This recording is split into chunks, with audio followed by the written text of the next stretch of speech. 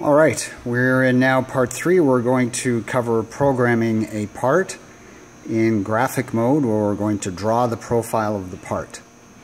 First of all, we're on the program screen. We've got a list of existing programs in memory. We start with a new program. We give it a name. Enter. Confirm the name. Having done that, we'll see the program number come at the top of the screen and we go into base data. The base data is the screen in which we will enter material thickness, uh, the type of material, and the tooling information. As you can see, the console has prompted us to enter material thickness.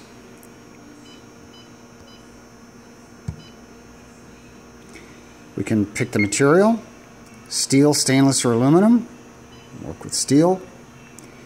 Our tool options, the punch holder as discussed earlier, uh, this is a standard punch holder. We will keep that. When you touch the punch field, you will see a list of all available punches. And the graphic will change according to the tool you've selected.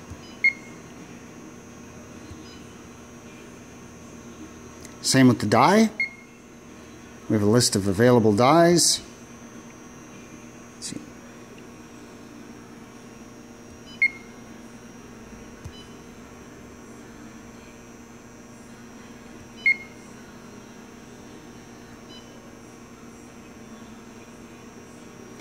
and the base as well.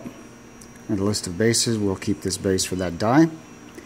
You'll notice here and we have uh, an upper limit value which we can change if we wish to reduce the stroke of the press. There's a pre-programmed speed change point based on the height of the tool. The control knows at this point where that is. Also, it's identified the pinch point by virtue of the fact that we know what the material thickness is. And as mentioned earlier, we have a calculated die origin and we have actual die origin. As you can see, there's about 30 thou difference between the two. That is within tolerance. Um, and uh, it's important to know that if you put, if you were to put the wrong tool combination in, for example, a much shorter punch, you see the difference in the two values changes dramatically. The machine will not let you run when you have that much of a difference. It senses that there's an error and it will not let you run.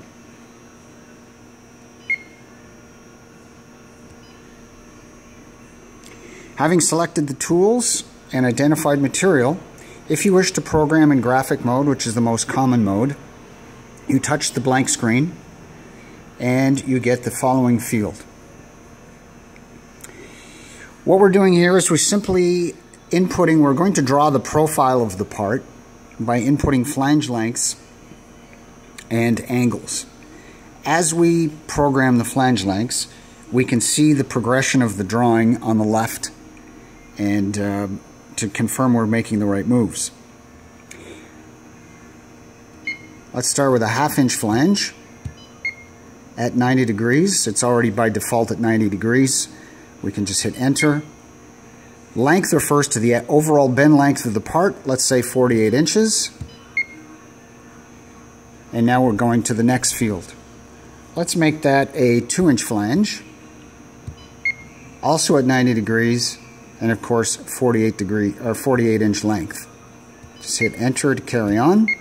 Now, if we want to see where we're at, we just hit close and there's our part profile with the first bend. Next flange we'll make, just touch the field again to get the keyboard up, 2.5 inch flange, again at 90, 48, 0.75, enter. And now let's just turn, turn that next angle around, make it a negative 90.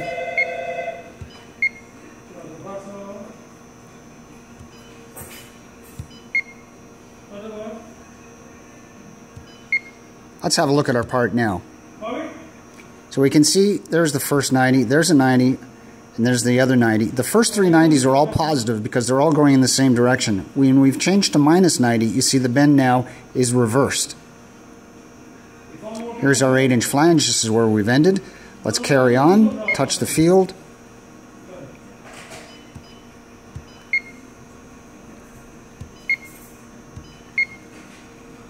And half-inch flange will be our last flange. And we identify the last flange by putting zero degrees as an angle. Close. Here's our completed profile.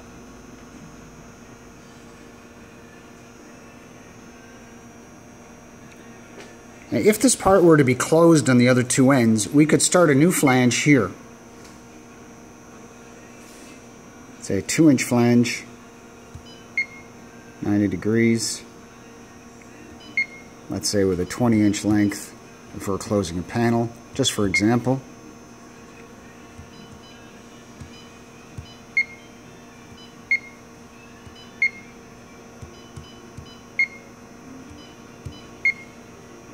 Let's have a look.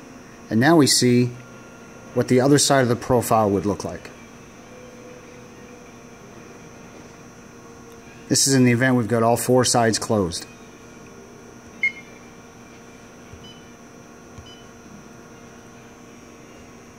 Delete the row. And we're back to our original one-dimensional profile. Having created this profile, we can now click on the OK button, which will bring us back to the base data screen. Press the step data key. It is at this screen now that we will determine the bend sequence. I'll start this on a separate video.